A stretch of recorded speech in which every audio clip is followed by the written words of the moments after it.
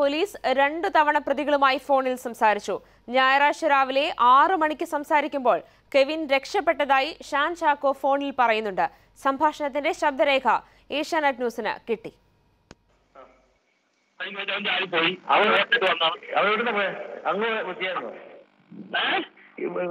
മകനാണ് പോയത് അങ്ങനെ ഇല്ലില്ല വഴിക്ക് വെച്ച് എവിടെ പോയത് എനിക്ക് സത്യത്തിൽ അറിയത്തില്ല. ഞാൻ വേറെ വണ്ടിയിലാണ് വന്നത്. പുള്ളിക്കാരൻ അറിയാം വെച്ചാ പോയെന്ന്. ആ.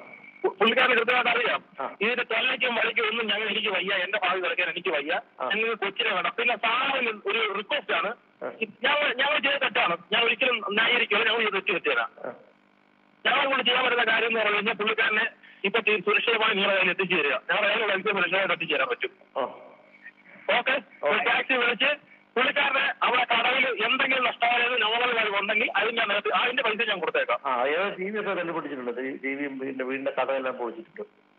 അതെന്താണെന്ന് വെച്ച് കഴിഞ്ഞാൽ ഞാൻ ഇപ്പൊ ഒരു പൈസ കൊടുക്കും പുള്ളിക്കാരൻ എന്റെ കോൺടാക്ട് നമ്പർ കൊടുക്കും.